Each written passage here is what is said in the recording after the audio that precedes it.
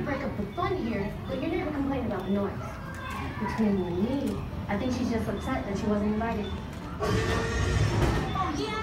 Well, where was my invitation? Oh, Uh, no. Oh, here it is. It was in my email junk folder. Whoops.